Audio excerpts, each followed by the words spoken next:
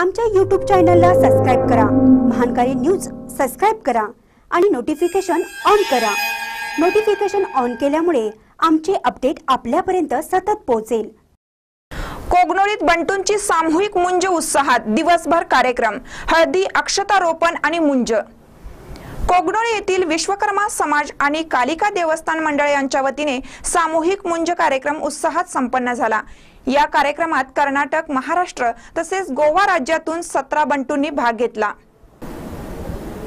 प्रारंभी संजय सुतार यांच्या हस्ते मुहूर्तमेढ रोवण्याचा कार्यक्रम झाला.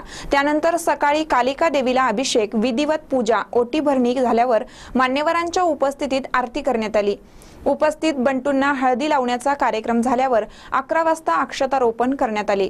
यावेळी अशोक पोद्दार म्हाकवे यांनी पौराहित्य केले.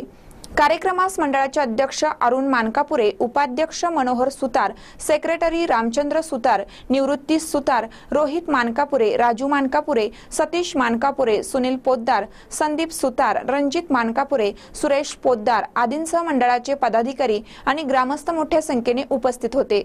मान्यवरांच्या हस्ते महाप्रसाद वाटप करण्यात आला. या निमित्त मंदिरावर आकर्षक विद्युत रोषणाई तसेच मंडप देखावा करण्यात आला होता. महानकर न्यूजसाठी कोगनोळीहून अनिल पाटील.